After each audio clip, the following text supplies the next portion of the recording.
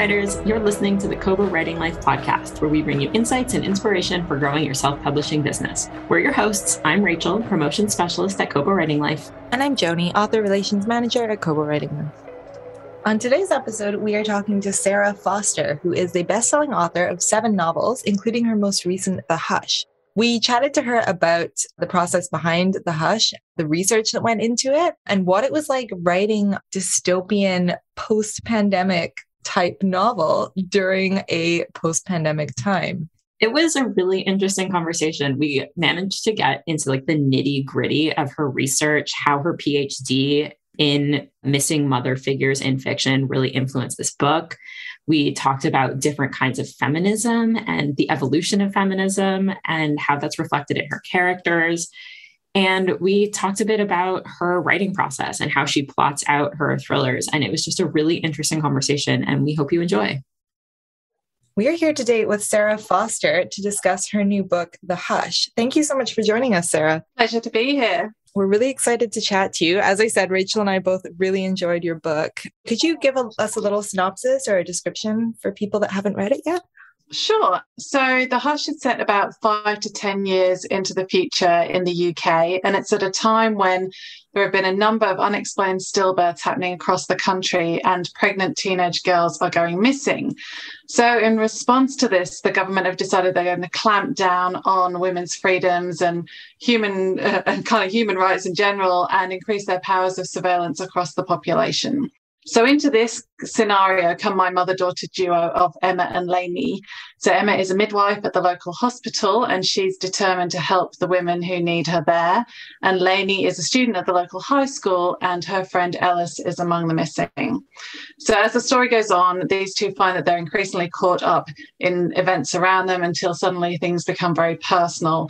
And when they realize they're in danger, they have to turn to a group of formidable female friends around them in order to try and get themselves to safety. Before we dive into the hush more in depth, I did kind of want to take a step back and ask you about your writing career because you've worked formerly as an editor before you became an author. How did you enter the author sphere and how did you find the process of writing coming from your editorial background? Yeah, well, it's been a long journey really for me. Um, so I started working at HarperCollins in the UK back in 2000 and I was an editor there for a couple of years. Actually, I was an assistant to the publishing director first of all, and then worked my way up to be an editor. And then I left and went freelance and did that for a few years. And all the time I was kind of writing in the background.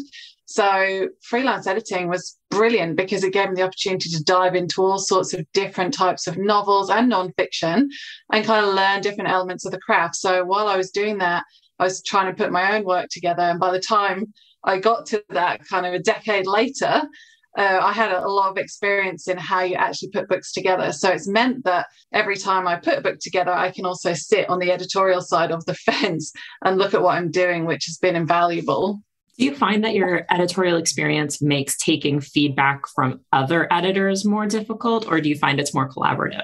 I find it easier actually because I think I know more what they're trying to do. So I don't take it so personally. I've been on the other side of that situation as well. So had to give that advice. And I know and I can see what they're doing in terms of trying to tread carefully, but also enhance your story. And I find that when I work with editors, 95% plus of the time I agree with what they're saying. And even if you don't quite agree, there's something in it normally that you can work with and work around and even work into your own way of writing. But I really value the editing process and really enjoy it. I saw that you'd worked on some of Liane Moriarty's books. She's one of my like auto buy. I always buy what she releases and I love her books. Yeah, I was lucky actually because that was the last anniversary that I was able to work on. And that was before she was such a big name. And I remember thinking what an amazing book it was and going and finding, I think she'd only done three wishes before that. So I went and found that straight away. And after that, I followed her career and watched her rise. So that was quite exciting. Yeah, watching her whole journey. That's really cool. So, this is the first book of yours that I read. And looking at your previous books, it looks like they are more thrillers. Is this your first to delve into speculative fiction? It is, yeah. So normally I write suspense thrillers with kind of psychological suspense, really. And often I've made them more about family relationships, personal relationships. Normally there is a, a, bigger, broader theme going on in the background. So, for example, in All That's Lost Between Us, there was this theme of what happens with teenagers and social media going on, but it was told from the story of the family. So it was the mum, dad, brother, and sister, and the and the daughter in that story had a big secret that was in, kind of caught up in the social media world. And so I like to combine those very personal psychological mysteries with a few themes that resonate to a wider audience and, and on a kind of more cultural level um, in the hope that it's just interesting to explore both at the same time. So I hope you get a really good story, but then also a bit of an analysis of what might be going on in some of these knotty issues of today. Yeah, and this book really does dive into a lot of very timely issues. So you've you've said it post COVID. I think it's COVID that you're referencing, but you started writing it pre-COVID, right? So how did that journey go? Yeah, absolutely. So that's been crazy actually. I started writing it in 2015 and it was part of my PhD because I wanted to look at what happens when you have young adult heroines in this kind of fiction and the mother is missing because I noticed that in big books like The Hunger Games, Divergent, um, Matched, and the, the mother was either not present or not very present. You know, kind of the mother figure was really in the background of the daughter stories. And I wanted to look at what might happen if you had empowered generations all the way through in a story like this. So I think sometimes in YA fiction, there's often this tendency to take the parents out so that the young people can have more agency. And my query was also what that actually did to the story, whether they really did have more agency or whether actually by separating the generations causing some unintended problems you know in kind of communication in representation so i was trying to introduce all those different ideas back into the story and that was the genesis so i was looking at things like the me too movement when it came up and really interested in those kind of things but covid just hit sideways really so when covid came along i looked at the story and thought oh my god you know i'm writing a book that's about an epidemic and now we're in the middle of a pandemic. Who is going to want to read this book? And really, it was the fact that I was writing such strong female characters, and that was the core of the story for me. Was trying to ask, what do the women do in these highly pressured, you know, kind of a situation so intense that it's kind of probably the worst thing I can think of. Really, what would the women do to fight back?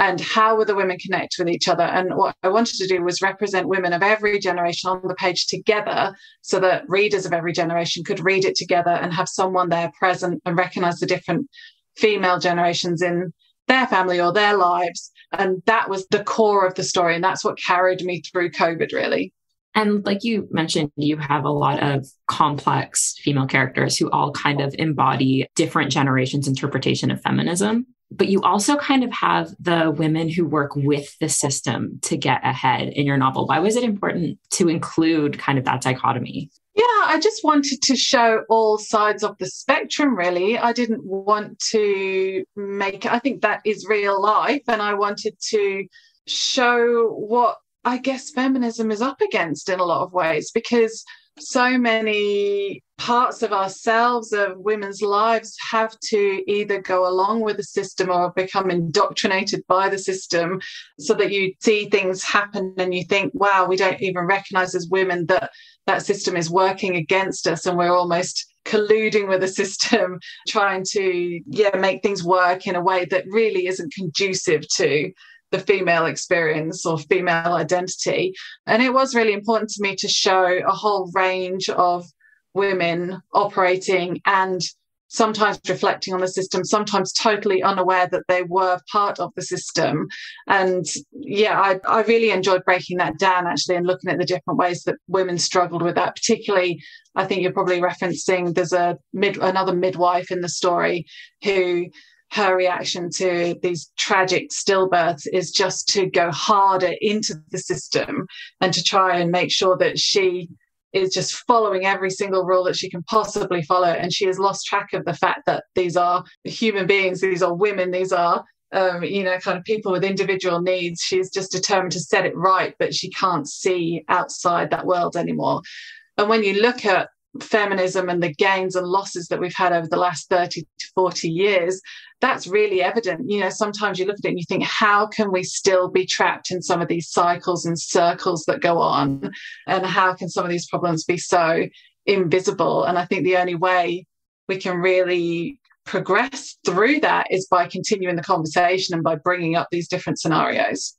It's interesting that you started writing in 2015 because when I do a little retrospective of what's happened since then, like it must it must feel weird to have started it then and then how much things have gotten more dystopian since. It's so strange because it started out as speculative mm. and it ended up feeling like I'm writing about contemporary fiction, you know, almost. And so that's been a very bizarre journey and raised a lot of questions and made me look at things in ways that I didn't even realize were going to be issues when, in terms of government control, I guess, and people reacting in different ways to vaccine mandates and one thing and another. And my book, Asking Questions About Government Control, has taken on a whole new range of meanings that weren't present when the story began. But it's only made the discussions much more interesting. What was it that originally sparked your interest? Was there one moment or was it a more gradual interest? Well, I think the fact that I wanted to look at mothers and daughters and how that all worked together was because when I was reading, I, I was kind of connecting with those books, the big books like The Hunger Games, and going, okay, these stories are so popular. What's making them so popular? And then as I was reading them was just the time where I was having my first daughter. So it was kind of 2009. I think I even read The Hunger Games, you know, in one of those kind of breastfeeding fogs where you just kind of have to sit there and um, you actually get quite a lot of reading time at that stage. Um, and so I think everything was working together in my mind, kind of putting different things together and going, where am I in her story? Like, I love the fact that I could show her this book and go, here's a really empowered woman, you know, like a young woman who's taking it on. She's not traditional. She's got so many things to say. She's fighting back against the system. And then I was like, where is her mum? And her mum was so withdrawn and kind of difficult. And Katniss is very angry with her mom to start with in that book for all sorts of reasons that when you actually delve into it, are not necessarily, again, her mom's been coerced to operate within the system and is then stricken with grief when Katniss's father dies. And she hasn't really had a chance to explore her own identity. And yet Katniss feels so let down by what her mum's behavior and her mum's reaction to different things. And it just, those kind of things just sparked my conversation of where are the representations of mothers? How do we represent mothers in stories like this? How do we represent the relationships between mothers and daughters? And is there a way that you can kind of discuss that complexity and those divides with mothers and daughters while recognizing that the system we live in is responsible for more of those divides than we might first think? And you mentioned that this book started as part of your PhD, and I imagine that involved quite a bit of research. What was your research process like, and how did you pull that information into your novel? So my research on the theoretical side has been all sorts of feminist texts, basically. I've kind of gone right back to the start. And so I looked at lots of second wave feminist texts, but more in the context of motherhood ultimately. So Adrienne Rich, Woman Born, um, that was a big one for me. And then when you read the kind of things that she was saying about the way mothers are represented in this kind of dichotomy between what she calls motherhood, which is the kind of constructed idea, idealistic version of motherhood that we have in society, versus mothering, which is the authentic identity that women feel as mothers who want to nurture and take care of their children. When you look at, she was writing that in 1976.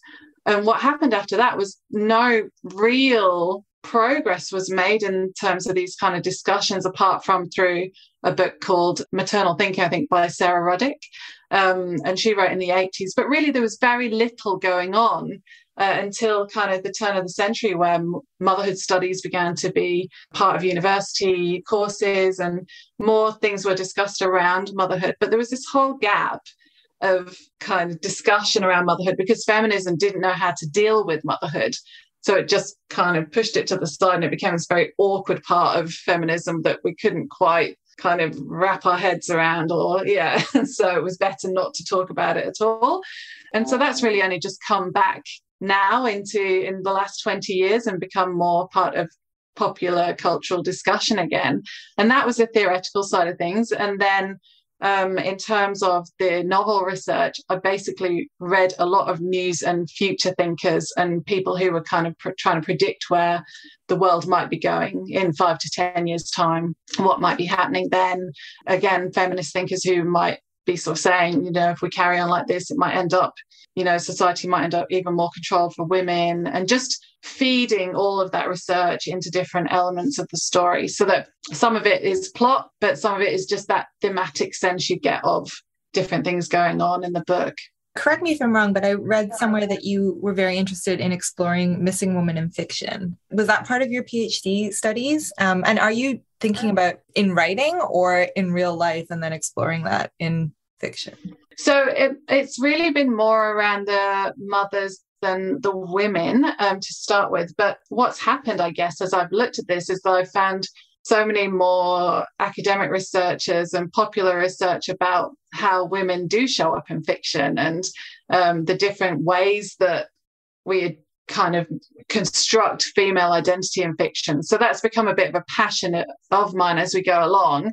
And it's definitely something I'd like to stay close to. You know, the next book I'm hoping to write is also going to be have a very tricky mother daughter relationship that is not a traditional mother daughter, quite an estranged relationship again, to sort of really break, try and break down what are we doing when we try and write female characters? How can we get beyond the tropes that we all see a lot? And how can we add more authenticity and more complexity and really often it's kind of a lot of the things that we try and write about with women characters paradoxical because as soon as we try and lump women into one group we're kind of getting it wrong because you know there is no such thing as one individual representation of womanhood so it's such a fascinating topic because we can draw themes and commonalities through kind of writing about women. But if we go too far, we start to move away from being able to represent something authentic about the female identity, about womanhood.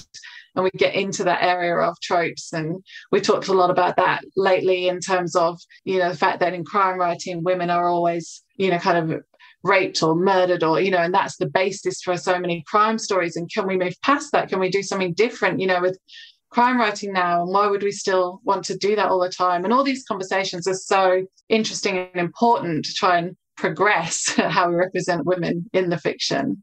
Right. So it's more about missing women from the narrative rather than missing in the sense that the pregnant girls go missing. Yeah, I mean, funnily enough, it's like a literal correlation mm-hmm. to yeah what's actually happening theoretically. Yeah, in some ways. So yeah, there are a lot of missing women in my fiction, literally missing women as well. But yeah, it kind of echoes the kind of themes that I'm interested in. And you have included a group of very different women in your book the like you said the group of women who come together to kind of unravel the mystery at the core of the novel is there a character that is closest to you like is there one that you found you put your most of yourself in um that's a great question i think possibly emma the mother herself um lainey's mum partly because she's works as a midwife. I have no midwifery experience at all. So not in that way, but I think that she's a quiet rebel, and I think that that's me as well. In terms of, I haven't really done a lot of shouting from the rooftops about my feelings and my desires within society and what I want for my girls and all that kind of thing. But I'm working behind the scenes very hard to live authentically and give them a good representation of who I want to be and to communicate with my daughters so that they don't necessarily end up with the same issues as, you know, kind of my generation of women have had around all sorts of things from body image to, you know, kind of, yes, yeah, sense of self worth and all those kind of things. So I think, yeah, I see that in Emma. I see that she struggles and she still is very clear that life isn't perfect for her. She's a single mum. She has to work. You know, it's not, yeah, her life isn't set up for her and or to be easy for her, but she still tries through all that to just have a very authentic relationship with her daughter. And there are times when you expect her to take on a traditional mother role and to almost collude with someone, whether it's the police or the headmistress at school or something, and to take their side and to kind of be, yeah, Lainey, why, why did you do that? What did you do? And every single time she goes, you know, this is my daughter. I stand with her, and you know, how do how do I help my child through this experience. And I really like that about her as well. And do you think that Serena and Lainey kind of encapsulate the future of feminism, or do you think they're more like the generation that's trying to figure out what's next? Yeah, a little bit of both, I think, because they're quite different. As I mean, Lainey has a little bit more of a mum in hers, and she's a quiet rebel as well to begin with. She's, uh, but she's much more idealistic than Emma. She still believes that a lot more can change, I think, than Emma does, certainly at the start of the story. Serena is just out there. You know, Serena is not going to go quietly about anything, and she's determined to push change much more than Lainey, I think. Um, and so the story kind of grows around them. You know, they both come up against how can we do that? How can't we do that? You know, Serena has to step back at times, Lainey has to step forward um, when she finds herself in certain situations. I love watching the young generation kind of take it on. You know, I, my oldest daughter now is about to be 13 and she has her own ideas about what it is to be a woman, what she thinks about climate change, you know, all these things. And she's really starting to take it on. And I love watching them do that. These kind of, uh, yeah, when they grow up, you know, and they're around kind of 18 or so, the way that this generation is going, no, we're going to fight for something else. And I think there are sometimes there's a feeling that the older generations have not been there for that generation and I think that's right in certain senses. But it's nice to write a story where they are there and they're backing them. And so I think that what I'm trying to do is not just write Emma, sorry, not just write Lainey and Serena as future feminists, but write the whole connect, connected generations as a lineage of feminism that has not necessarily been able to achieve all its ends, but that has certainly had purpose and has certainly fought for everything that it could fight for at the time in the context that that particular brand of feminism existed in. And rather than disconnect all the women and say look you you let us down. You did that you know to kind of these women understand each other. They understand that there were pitfalls and things that they couldn't achieve but they're still there now supporting each other and and moving that wave forward. Okay so your children are quite young and presumably probably i don't know how it was in australia but there was certainly a lot of homeschooling here over the last couple of years and you were doing a phd and writing a novel. What was the emotional toll of this? Like how did you find it? Writing quite a, a tough story during a time which is arguably the most challenging that we've ever lived through. Yeah well it well it has been an emotional toll. I i don't even know whether i've quite come to terms with all that yet. I feel like i'm still trying to adjust. And obviously, now with everything that's happening just recently as well, you know, things seem to be changing so quickly. And I feel like we're always playing catch up now. Whereas a you know, five years ago, my plans were, oh, where shall I take my girls on holiday? you know, kind of where, and you know, where was, and I had time to write, and I had um, actually I homeschool my girls um, because um, we've done that for years and years, um, but they're both dyslexic. So it's kind of been very much part of our family to do that. So that bit didn't affect us as much. But I had a lot more support before COVID started. So I had someone coming in to help me with the children that couldn't as soon as COVID began she was immunocompromised. And I've never found that support again. So all of a sudden, life really changed. And I found that that's happened as well. You know, I've had to take on a lot more myself because you can't always bring people in with all this isolation going on and these rules changing all the time. And so getting that support has been much harder over the past couple of years. And just getting through it emotionally as well ourselves, I think, never mind trying to explain it to the children what's going on, has been very challenging. And yeah, I wouldn't say that I'm on top of all that. I think I've just decided day by day. And just what yeah what's my next goal? Break it down just try and get there and then just keep going. So that's really how this book has been finished and released. Yeah one day at a time has really been my motto over the past year. Absolutely. Because any more than that it's just too much. But like you said like things changed really quickly from like 2020 to now. Like things are just snowballing do you think that had the pandemic, this is such a huge question. And so sorry if you don't have an answer, but if the pandemic hadn't happened, do you think your book would have been different? Do you think like the pandemic had a huge impact on your story? Yeah, that's a really great question. I, it's really interesting to see how people are responding to it because some people are nervous about picking up the book um, because of the pandemic themes and because it's been so hard. Um, and to that, I want to reassure everybody that while it starts in that place, I hope that what they find is an inspiring story of female friendship and female solidarity and um, female the different female generations. But I certainly had to change elements of the book to make it feel less disconnected it almost felt like I was writing in a parallel world. And I added in small references to the pandemic to kind of ground us in that future world, that near future world again, which weren't there originally because there was no need for that frame of reference. But yeah, I, it has changed the way in which the book is read. I hope that it's still all those themes still stand because they still seem very relevant to me, um, and the core themes still seem to be uh, be ever more relevant, really, with what's gone on. And so, yeah, I think that I'm glad that it's come out when it has, actually. Yeah, I do think it's good timing. I mean, things are not getting better with regards to women's rights or access to birth control or any of those things. So, yeah, it's definitely still relevant. I wanted to ask I have a theory about this, but you're originally from the UK, which I also am. Why did you choose to set the novel there rather than Australia?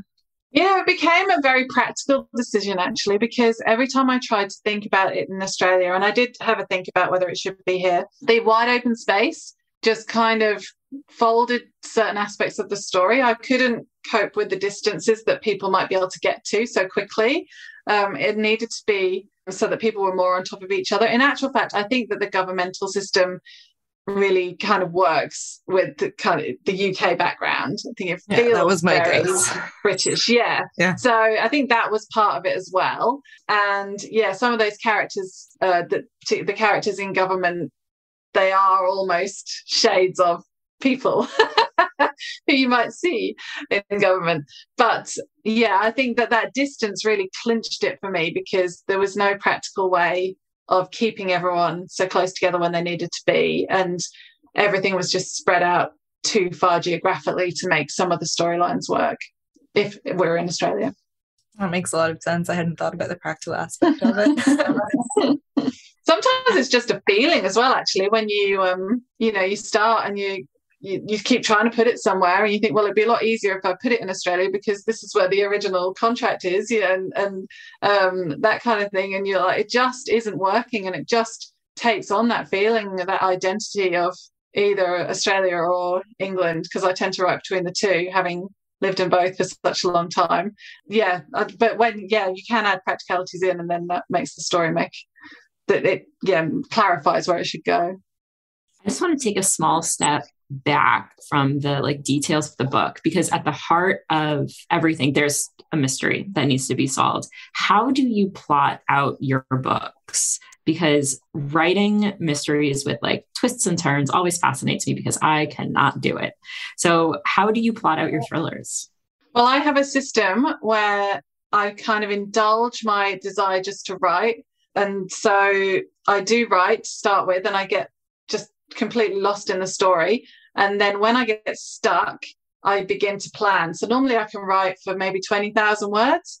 And then often it starts to run out and I go, okay, time to plan. And at that point, I create a grid and I put in the chapters and the breakdown and the characters and what I've got in each section. And I start analyzing where it's gone to. And when I've got that grid, I might have ideas about different twists and turns that are going to go in. And so I add them to the grid, but they don't have to be in any particular place yet. And by having a grid, I can then move things about to see what it looks like if I were to put that reveal there or this thing there. And I can start to play on a kind of macro basis, you know, and zoom out and look at the whole story like that. But then often I find that the grid starts to bug me and then it's time to set off with the story again. I'll just get more ideas from looking at the grid. And as soon as I have the story alive in my head again, I just let it take me a little bit because otherwise I think it does become very formulaic and it's not such fun to write and you lose those wonderful moments of surprise where you're kind of writing away and something pings up like you get the splash of inspiration which isn't all the time but they are brilliant when they occur and sometimes those take your story in different directions so i found that by that process of what my a friend of mine calls backstitching and being able to go back to that grid, that works in a way that you can begin to construct your story and write at the same time. And I never finish that grid because at some stage the story takes off and I can get to the end and then I don't need the grid anymore.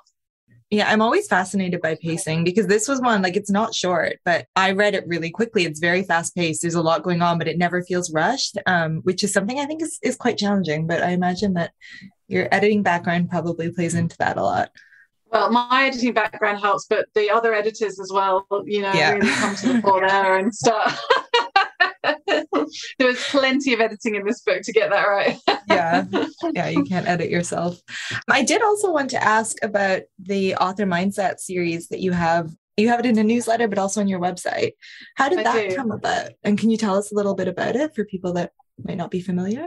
Yeah, well, I began writing that because I want to ultimately do more and more to help um, writer, emerging writers.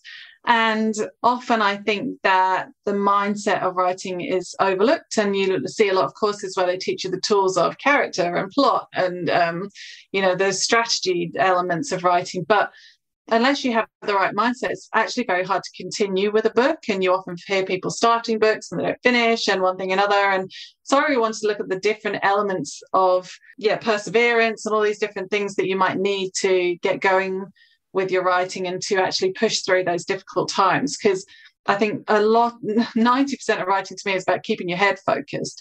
Because when you come to a sticky point in these books, it's so easy to just not want to do it and to yeah and then to doubt yourself as well to just go oh the story is falling apart. I can't get through that. Where to go? I don't know where to do where to go next or how to and i wanted to help people try and get through some of those challenges um, and i would like to do more with that actually. So at the moment it's just you get it if you sign up to my newsletter. You get the, the series that i've done but they are on my website as well. But yeah i definitely like to continue that. Would you consider teaching a course or writing a book on it? Yeah, yeah, I am actually. I'd like to do a little bit more with that and just yeah, anything that I can do now. I feel like I've loved writing over the past little while, and that, that's actually my goal when I finish my PhD, which should happen in the next few months, is to then hopefully turn my attention to yeah, then hopefully turn my attention to doing a bit more for emerging writers. Well, we will look out for that. And you said that you've been homeschooling for a while. Do you do a lot of writing? Are your kids interested in writing? Yeah, well, it's been an interesting journey with the children because of the dyslexia, which we didn't expect because we haven't particularly had it in the family, even though it's uh, theoretically genetic. So it's been a challenge for both my children to read. And it's actually been lovely watching the way that they have come to stories in the end. Um, one of them now is very into reading books, and the other is very dramatic and prefers to act out her stories. So anything that we can do to bring story alive, I kind of feel like the writing can come almost a little bit after that, you know, and we don't have to go for the real of technical grammar elements of it. As long as they love creating stories, that's where I want them to be. And both of them have definitely got that. And so, correct me if I'm wrong. Excuse me, correct me if I'm wrong. But you are homeschooling your kids, working on a PhD, and you just released a novel. How many hours do you have in a day? yeah, not enough, really. I have. I've got a little pattern going now, which is, you know, all the homeschool happens in the morning. Uh, the writing happens about. I get up at five o'clock. I go for a walk, do an hour of writing before I start anything else. The homeschooling happens all morning. After we've had lunch, then the girls go and do other things. I write then until dinner time, and um, yeah, it kind of, you know, the, the PhD has been hard to combine, I have to say. and if I hadn't loved it so much, I would have, you know, not been able to continue. But every time I looked at it and thought, I'm crazy, why am I doing all this? Everything that I was doing really mattered to me. And I really felt like I had something to contribute in all these different areas. so I muddled my way through, and hopefully, there will be an end product soon, and I will um, actually achieve that exegesis and get the PhD nailed.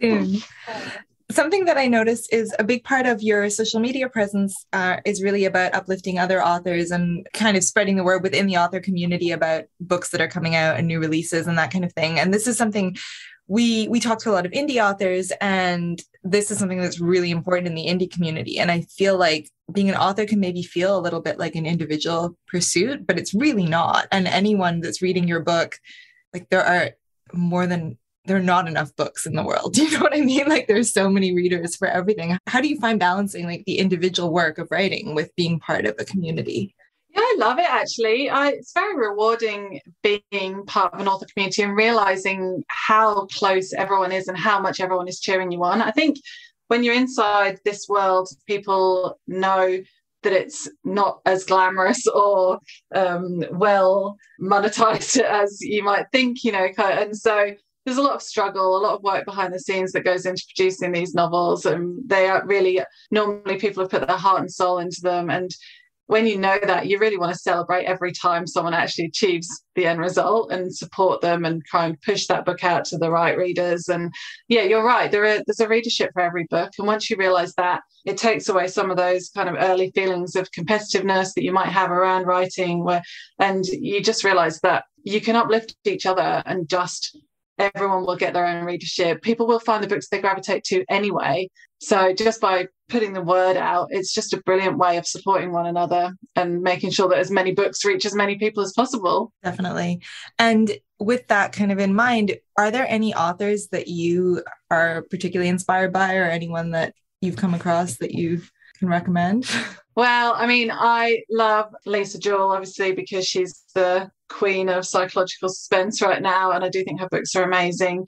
I also really love Maggie O'Farrell. She's been an author that I adore for a long time now. I think I've read her books ever since she produced her first book, which was 20 odd years ago. And she writes, she originally started writing psychological suspense type thrillers, and one was called After You'd Gone, and that was the one that I really fell in love with her with. But she has gone across the board. She's written kind of narrative nonfiction. She's just written Ham Hamnet, which is kind of set around the, the um, Hamlet story. Um, she has written all sorts of other contemporary fiction, and she always surprises you with what she does. And she has little narrative tricks all the time as well. She's amazing. Her grasp of language is amazing. And she does special little tricks. And I'm always fascinated by how she puts her stories together because there's always freshness about it and always something different. So she'd be the person that I would immediately buy her book every time it came out, no matter what it was about. she did she write I am, I am, I am. Yes, she did. Yeah, yeah, okay. yeah, yeah, yeah. See, uh, so different to the concept of Hamlet, and yet both amazing books. And I think when you can do that, and your range can just travel.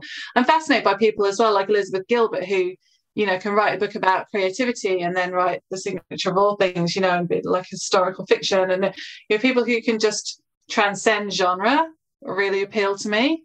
Have you read Louise O'Neill? She's written a couple of dystopian kind of feminist books, but she also really transcends gender. I find her fascinating. Um, yes, yes. No, I have looked at Louise O'Neill actually for the PhD. So yeah, that's been um, yeah, really good. And yeah, I found her brilliant as well. And very her type of the feminist feminism she puts in her writing is confronting. It doesn't pull any punches. Yeah. It's like, you know, this is yeah. yeah, I love it. Oh yes. And as we've touched on, you are a little busy, but do you have another idea for another book percolating yet? Or are you PhD now next book later. No, you mentioned you were working on something, I think. well, I have to be PhD first because I really, really, really do need to get that done. But I do have a couple of other ideas. One is about this other kind of complex mother and daughter story. And also, I have to say that the characters from The Hush are still talking to me. So down the track, I've never felt like that book was a book on its own. I've always felt like there was another element of that story. And I noticed from feedback that people feel. Uh, I've obviously got that sense from the story as well. So, yeah, there's definitely things going on around that. And I don't know quite how I'll layer all this and which order I'll do things in, but certainly I've got plenty to keep me going. To all of the listeners who can't see us, Joni and I visibly perked up at the mention of a possible sequel to The Hush, which I think is the best endorsement. That's very encouraging. I do appreciate that. And I did want to ask you one more question about the Hush, and it's the cover, because the cover is so good. Did you have a lot of creative input on it, or was there just a cover given to you that happened to be perfect? Well, we knew that we wanted it to be the Matryoshka dolls. And so the concepts were played around with. Uh, and I saw a couple of designs. The other one was very much more traditional photographic with the dolls kind of sort of displayed on the cover. But then this one, as soon as we saw it, everyone went, yes. You know, it just seemed to perfectly represent femininity and yeah the female form and the dolls and yeah all sorts of things so yeah we're very happy with the fact that we've got this striking bright pink cover it's a, and it stands out on every shelf you see it on as well which is awesome it also fits in perfectly with the genre there's it reminds me of a couple like there's oh, covers are different in australia but there's the farm which is a similar-ish kind of concept has a similar concept cover. There's a couple more, but it fits in perfectly, which is what you want, right? It stands Absolutely. out and fits in. Yes, yes, I love it. So I'm um, full kudos to yeah everyone that was involved in the design of that cover and and let it go through because yeah I'm really proud of it. Awesome. And before we let you go, can you tell us where listeners can find you online? Yes, I'd love to. So my website is um, sarafoster.com.au. And then I've got Instagram, which is Sara Foster Author. Facebook is Sara Foster Author as well. And I occasionally pop up on Twitter, which is at Sara J. Foster. And all Sara's without an H, I should add. Perfect. So we'll share those links and definitely go check out the Author Mindset series on the website and we'll Thank share you. links to your books and all of that. Thank you so much for doing this. This has been great. Oh, it's been an absolute pleasure. Thanks for having me. Thank you for listening to the Kobo Writing Life podcast. If you are interested in picking up The Hush, we will include a link in our show notes, as well as links to Sara's other books. If you are enjoying this podcast, please be sure to rate, review, and subscribe. And if you're looking for more tips on growing your self publishing business, you can find us at KoboWritingLife.com. And be sure to follow us on socials. We are at Kobo Writing Life on Facebook and Twitter, and at Kobo.writing.life on Instagram. This episode was produced by Joni DiPlacido and Rachel Warden. Our editing is done by Kelly Robotham. Our theme music is composed by Tearjerker, and a huge thank you to Sara Foster for being our guest today. If you're ready to start your self-publishing journey, sign up for free at kobo.com slash writing. Until next time, happy writing.